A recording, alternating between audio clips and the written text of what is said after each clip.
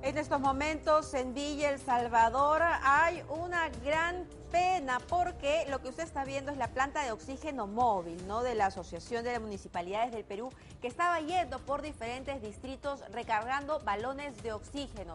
Pero ¿qué ha pasado? Se ha malogrado. Yulisa Rivera está en el lugar y nos cuenta qué fue lo que sucedió. Yulisa.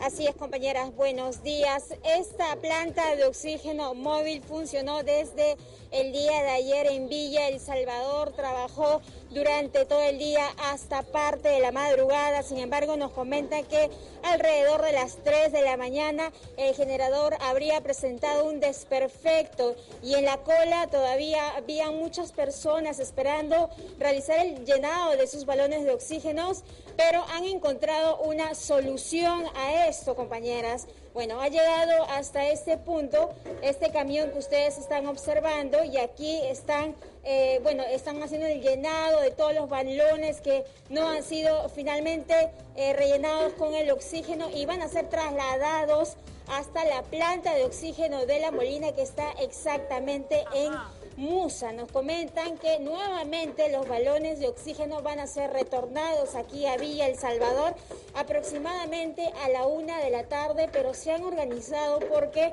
si ustedes observan, Juan, por favor muestra este balón de oxígeno. Aquí está el nombre del propietario de este balón el número de DNI, un número de teléfono también para que se puedan contactar. Exactamente la hora, dicen que podría ser a la una de la tarde nuevamente el retorno. Pero este, van con la seguridad de que van a regresar estos balones de oxígeno con el llenado ya respectivo. Lamentablemente los balones de oxígeno eh, lo necesitan muchas personas, eh, pero eh, por este desperfecto ahora, bueno, van a tener que esperar un poco más de tiempo. Aquí están las personas. Coméntenos, señora, que usted también estaba en la cola. Sí, desde ayer, desde las 5 de la mañana. Y bueno, pues no, se me logró lamentablemente. Ahora tenemos que esperar. ¿Usted para quién necesitaba el oxígeno? Para mi abuelo y mi abuela, ambos usando el caja de salud. Y ahora han encontrado una solución porque el oxígeno se termina y el balón va a regresar todavía a la una de la tarde. Ahorita me queda solamente 5 metros cúbicos eh, tengo familiares que me están haciendo cola desde ayer también, desde las 10 de la noche en otro sitio, pero solo nos llenan 3 metros cúbicos y espero que eso nos entreguen temprano para que cubra este y este que llega a la una, más, oh, lo que sea lo que Dios quiera. Una consulta, ¿tus abuelitos cómo contrajeron el COVID-19? Ah, por un familiar asintomático. ¿Estuvo en una reunión familiar? No, nada, nada, simplemente cuando se levantó la cuarentena eh, empezaron a, salir a trabajar, pero eh, se, contagió y al final es cuando nos dimos cuenta fue demasiado tarde. Yo, ah, los aislamos, pero ya habían contraído el virus. ¿En qué trabajaba este familiar asintomático? Eh, servicios de locales, mantenimientos, esos de seguridad, todo eso. Tenía todo el protocolo, tenía la vestimenta, tenía la mascarilla, tenía todo.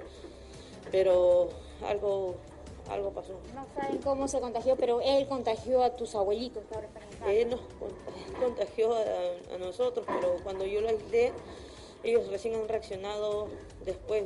¿Cuántos integrantes de tu familia finalmente fueron contagiados? Diez.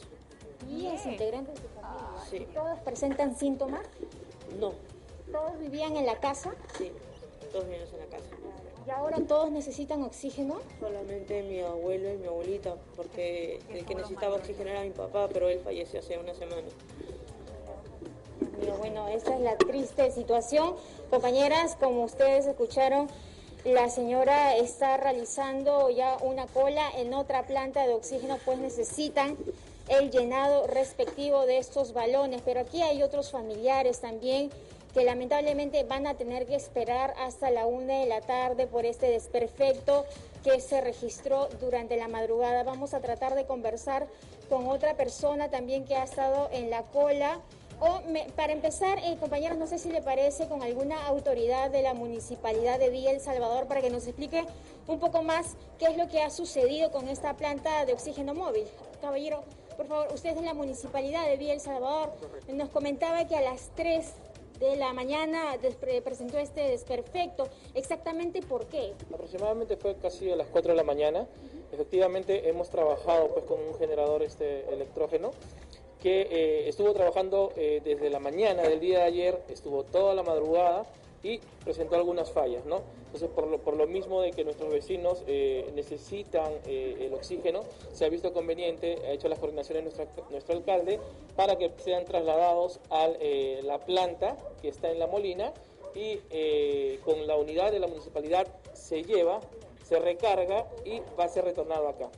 Eh, como has podido ver, cada balón está eh, debidamente rotulado, tiene el nombre de la persona, tiene el DNI y el número telefónico para nosotros poder comunicarnos con nuestros vecinos y poder decirles que vengan acá para que puedan llevarse ya el balón de oxígeno lleno. ¿Esta planta de oxígeno móvil nuevamente estaría llegando a Villa El Salvador? El alcalde justamente está coordinando eso. Ya por lo pronto hemos visto que en Villa María estuvo un día, el alcalde hizo las coordinaciones para que esté no solamente un día, sino un día y toda una noche. ¿no? ¿Cuántos llenados de balones se han realizado? Un aproximado de 90 eh, balones. 90 balones. Correcto.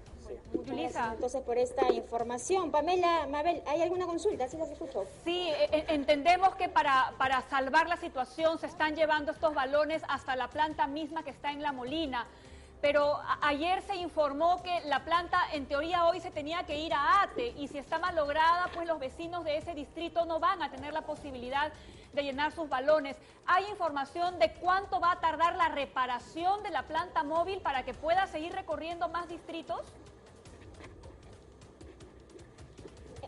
Me hacen una consulta en estudio, preguntan que esta planta móvil iba a trasladarse hacia el distrito de Ate. ¿Se sabe cuánto tiempo se van a demorar en reparar este problema?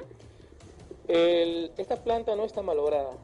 Esta planta está totalmente operativa. Hemos tenido un problema con el fluido eléctrico. Ah, con el generador. Correcto, con el generador, más no con la planta. La ah, planta está totalmente operativa.